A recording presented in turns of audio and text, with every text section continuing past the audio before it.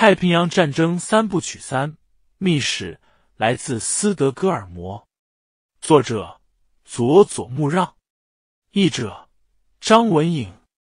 第二章四。一月二十三日，东京研究室的门突然被推开了，山邪抬起头，看见高木走了进来。高木看着山邪，点了点头，像是在考虑着其他的事情。高木把门从里面锁上后，省去寒暄，直接说：“昨天在大基和禁卫工会面了，他听了你的研究报告和提案，是吗？”果然，高木见的人。就是敬畏文魔，山邪感觉到自己的面部稍微放松了一点，自己的工作多少进入了某个人的头脑里，这应该庆幸。山邪不能在研究会上公开发表自己的想法，他的想法如果一直无人理会，就会变成镜花水月一场空了。他希望哪怕一个人也好，能传递到他的心里。高木把帽子和外套。挂在房间角落的衣架上，和山邪面对面的坐在桌子另一边的椅子上。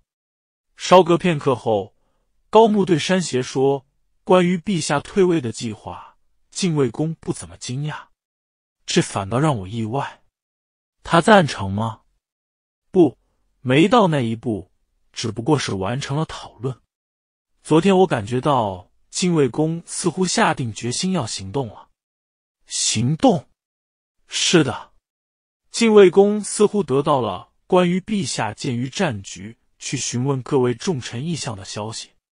虽然幕户内府以违背惯例为由没有赞同，但陛下也多次表达了这个意思。本来也是，如果让军部知道了，众臣就会身处险境。如果真要商定什么，也会极秘密的进行吧。晋卫公大概考虑。在秘密商定之时，在上奏停战。我们的研究报告呢？高木点头道：“也许那一部分也会反映到上奏中吧。不知道会不会禁言退位，但禁卫宫似乎也觉得已经无法处理大本营决定的本土决战的作战大纲了。目前的状况下，无论如何也看不到捍卫国体的希望了。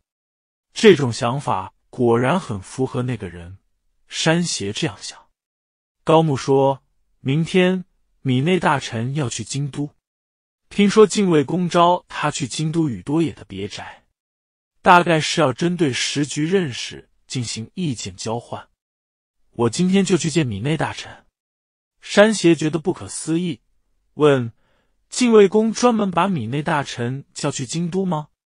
有事的话，大臣官邸禁卫宫。”在大基的宅子都行吧，还有在迪洼的迪外庄，为什么还要去京都呢？我也问了，禁卫宫说在东京宪兵队盯得很紧，还有可能被监听。京都监视相对松懈，所以定在了京都。听说后天二十五日，他也会给宅子的女佣放假，真是费心的会见安排啊！既然说是。关于时局的意见交换，会商讨相当重大的问题吧？嗯，除了米内大臣，明天禁卫宫还召见冈田大将，还有重臣中的冈田启介大将。这么一来，这就不是不彻底的恳谈会，形容为三巨头会议也不足为过。高木又说，据说见过这两位后的第二天。还在京都会见高松关亲王，我觉得除了京都监视不严，还有其他原因。山邪确信禁卫在行动，因为禁卫对陛下退位的提议并不惊讶，还在这个时候在京都会见高松关亲王，可见他确实在行动。禁卫公还说，最后的决战让陛下乘坐到联合舰队的旗舰。和军舰共命运如何？只有这样才能捍卫国体。相似的话从另一个人那里听到过，最初听到觉得是个大胆离奇的想法。意外的是，连禁卫宫也这样想。大概这是全体国民认同的讲和计划吧。高木看着山邪读的英文资料，用另一种声调问他：“你在美国留过学吗？山泪回答：“是，两年。被派去普林斯顿。当时的大臣指示我要成为国际法的专家。”高木的眼睛似乎望着远处某个地方。他说：“我也是，小时候非常想去国外学习。听说您去过法国，那是海大毕业后的事了。是因为军官公务去了法国。那时我已经三十五岁。”去了一所叫博尔利兹的语言学校，深切的感受到，真应该再早点到国外学习。年轻时希望去哪里留学呢？梦想去美国，可是家里穷，我中学都上不起。高小毕业后，在熊本的铁道院工作。那时在某个通信讲义录的广告上看到，听课三年，成绩优秀者通过面试可以去美国留学。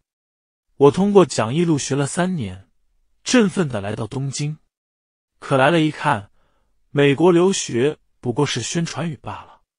当时又不能回老家，就在东京找工作，上夜校，然后晚于一般人进了海军学校。说起来，是海军实现了我的留学梦想。高木的话语里有一丝感伤，他好像也察觉到了这一点。站起来，用原先的语调说：“总之，有你的帮忙，确实助我良多。次长给我配了一个优秀的人。”山邪突然有种莫名的困惑，想要转换话题。